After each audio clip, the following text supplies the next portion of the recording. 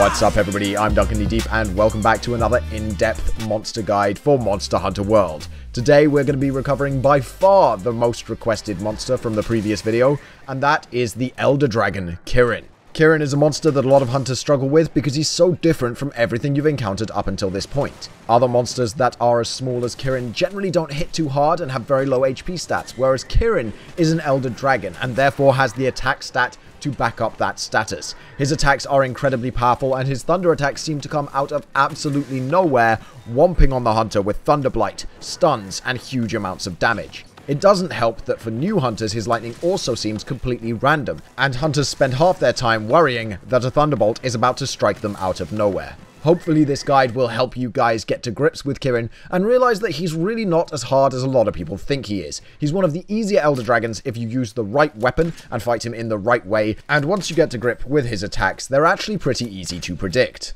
As always with these guides, we're going to go through Kirin's strengths and weaknesses. We're going to go through every single move that Kirin can use, and then I'm going to give you some basic strategy and advice on how to defeat Kirin. Starting with his weak points, well, his only weak point is his head and horn. That is all that you will be able to hit any kind of real damage against. His hide is incredibly tough and resists damage all over. You can do a small amount of damage to his mane, but it really isn't that significant. And his legs, neck, and tail will take almost no damage whatsoever. This issue is made even worse when Kirin activates its Lightning Aura. This is a separate mechanic to Rage, and it works much like Nergigante's Spike Regeneration, Teostra's Flame Shield, or Kushala Daora's Wind Shield. The Electric Aura will protect Kirin's body everywhere except for his head and horn, and will reduce damage to zero from a lot of attacks, and to almost zero from everything else, forcing you to hit his face and horn. While this aura can be sealed away with the Elder Seal on your weapon, it's not really worth it unless your weapon is a raw type weapon which the dragon element is just a bonus on,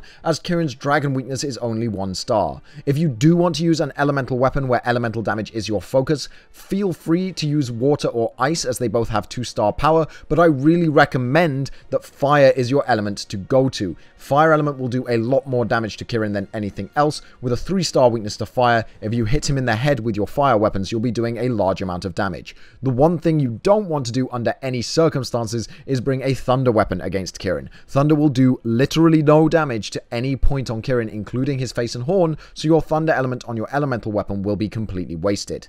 When it comes to status, Kirin has a 2-star weakness to Sleep and Blast, making it quite easy to sleep bomb him during the early stages of the hunt, and also makes blast weapons effective as a starting weapon for the hunt, as long as you know that as his blast resistance builds up throughout, you're going to want to switch over to an elemental weapon or a raw damage weapon later on.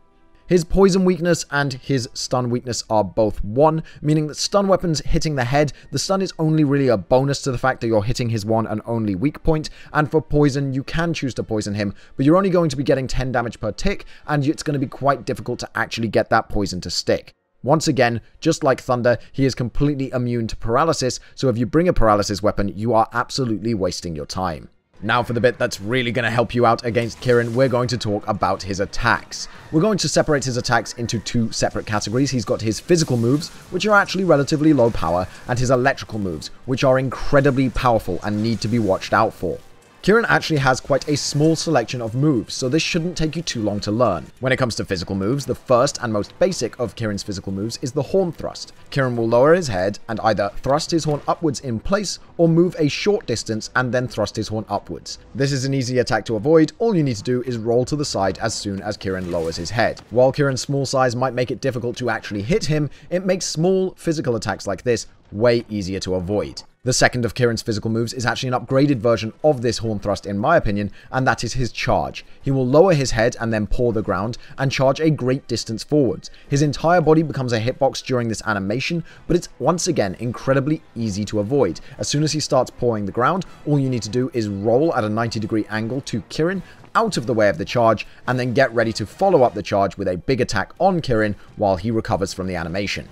In order to prevent you from chilling out behind him, Kirin has a back kick attack. He will lift his front legs off the ground, then quickly lower them onto the ground, and then kick out his back legs in an upward motion. If this attack hits you, it will launch you a very long way, but it doesn't actually do a huge amount of damage. It will also stun you quite easily, and if you have Thunderblight on you, this is how you're going to be getting stunned and then comboed to death, so do watch out for this kick. The best way to avoid this is to try and stay at the front of Kirin, because you want to be hitting that head anyway, so what's the point of being behind his back legs where he takes almost no damage?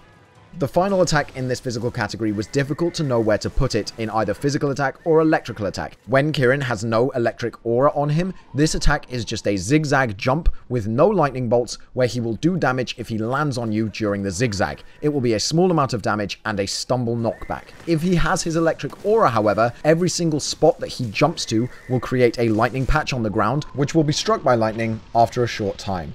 This attack doesn't have a particularly distinct tell, as the entire attack is the tell, as he moves very slowly while jumping from point to point. Just make sure you're not where he lands and you'll be absolutely fine. Moving on to Kirin's much more threatening thunder attacks, it's important to note that each of these attacks becomes more powerful when Kieran has his lightning aura. The first move is a lightning strike snipe. Kirin will create two to four spots of lightning in various patterns in front of it, which then quickly strike the ground, and it can be any distance between Kirin and yourself in front of Kirin. So he could put them right in front of him, or he could put them in a zigzag pattern all the way up to you, or he could create three lightning spots right at your feet from a great distance away. All of these thunderbolts are telegraphed by a glowing blue spot which appears on the ground 0.5 seconds before the thunderbolt hits. So, if you do see a glowing blue spot on the ground, be ready to roll away. This is the move that catches the most new players off guard. They don't expect it, it comes out of nowhere, it can land absolutely anywhere, and it does a tremendous amount of damage if it hits you. Keep an eye out for glowing blue spots and do not stand on them. That is the number one tip for Kirin. Our second lightning attack is going to be his walking or stationary random lightning bolts. Kirin will either walk around slowly or lift his head up in a whinny animation, creating a random field of lightning bolts in a general area around it. Similar to the previous move, this will generate glowing spots on the ground, which will then be struck by lightning. So don't be fooled by Kirin walking around slowly, as it could be the end of your life. Kirin's third variation of the small circle lightning bolt attacks is his circle strike. Kirin will create a circle of the small round lightning points around itself at any distance. This can include no distance where he places all five circles on his own body. Just like the other two moves as well, you avoid them in the same way. Don't be standing on a glowing spot. That should be your mantra when fighting Kirin, so no matter what attack he is using, as long as you remember don't be standing on a glowing spot, you should survive the hunt and be able to take Kirin down. Moving on to Kirin's even more powerful lightning moves, we're going to talk about Kirin's giant lightning strike, where Kirin will create a giant field of glowing lightning on the ground. When this one strikes, it does even more damage than his smaller lightning bolts, but in return for that, it takes a little longer to strike. So while it is a lot scarier than his small lightning bolts, it's actually much easier to avoid. As before, don't be standing on the glowing spot, roll away, and you should be absolutely fine. Kirin's final thunder attack is his lightning line strike. Kirin creates a giant line of charged area, which will then strike out in a straight line across that entire area after one second. Kirin can create this line either parallel to the way it is facing, with itself being the origin point, or it can create it a short distance away, perpendicular to itself. Either way, it's the same as before, don't be standing on it, and you'll be absolutely fine. When Kirin has its aura, this attack will become much more devastating. Instead of one line, Kirin will create three for its triple line lightning strike. Once again, it can either be parallel or perpendicular to Kirin, so you can't even be sure which direction it's coming from. It will do a huge amount of damage, but it will still strike in the same amount of time as the regular line lightning strike. Something else to note is that these three lines appear slightly separated out from each other time-wise and will then strike in the order that they appeared, which unfortunately can be any random order. So it's not always going to be the innermost then the outermost, or the outermost then the innermost, or left to right. You do not know which order they're going to appear, and they will strike at a random order. That's it for Kirin's moveset. That's all he has. He's got quite a small moveset. He just combos them together and chains them together in a devastating way. But so long as you don't get hit by one, you won't get hit by the others. So the real trick here is just don't get hit and hit Kirin till it dies. Since I've covered how not to get hit, it's time to cover how to hit Kirin until it dies. And I do want to start out by saying that while you can, of course, hunt Kirin with any of the 14 weapons in the game, a lot of weapons are a lot harder to use against Kirin than others. For example, if you're insisting on using a shielded weapon, don't use the gun lance on Kirin. It may seem like a good idea because you can easily shell it, even on its hide, even during electric aura to get the full shell damage, but it's slow and it takes a long time to sheath and it's not very mobile when it's unsheathed, so you're going to spend all of your time sheathing your weapon, running up to Kirin and getting one, maybe two shells off before Kirin bounces off in another direction.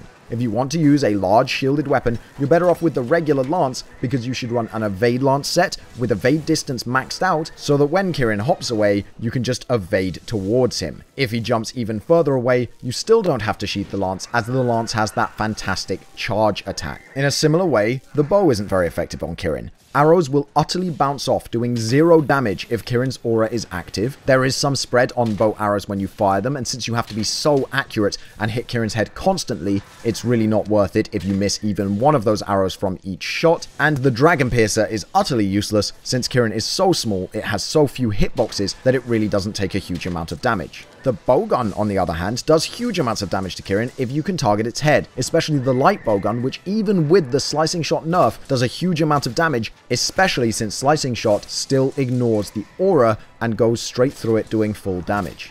If you want to hunt the Kirin using a slower, heavier weapon, I would recommend the hammer more than anything else. The main reasons for this are one, the two best hammers in the game have Elder Seal, which will get rid of that pesky aura for you at least once a hunt, and secondly, the hammer charge uppercut is a really good way to close distance with this highly mobile monster and get hits off on the head. If you manage to down Kirin, that big bang attack will also do a huge amount of damage. If you insist on using a greatsword against Kirin, please note that you're almost never going to get a level 3 true charge off on Kirin. Go for the crit draw set, don't even bother charging it, just crit draw sheath repeat until the pony bites the dust. Remember to stay safe, as not getting hit will save you more time overall when it comes to doing damage than getting off that one extra hit at the end of a combo. With small, light weapons, the biggest issue is going to be reaching Kirin's head. I actually really like the sword and shield against Kirin, as you can use that triangle and circle distance closing attack to do an uppercut, which will actually do really good damage to Kirin's head if you're using the correct armor set with the Rathalos or Anjanath sword and shield. Unlike most monsters, when I can tell you for each weapon class the positioning in relation to the monster that you should be trying to have, with Kirin the positioning is always the same. He is so small that being in a certain position in relation to him is a moot point. You should be where you can hit the head, and all of his attacks are AoE and random, so just make sure you're not standing on a glowing spot, and you should be absolutely fine. Thank you so much for watching this video. I hope it helped you guys in your quest to hunt the Kirins. If it did, please let me know down below in the comments, and let me know what other monsters you would like to see me cover. I do intend on covering Teostra and Kushala, so keep your eyes open for those videos in the future, and I'll see you guys next time. Alright then guys, that's the end of the video. If you enjoyed it, you can click up here to see more videos of this type on my channel. If you want to check out something else a little bit different, then you can click down here. And if you want to see everything that I upload, you can click the subscribe button right here.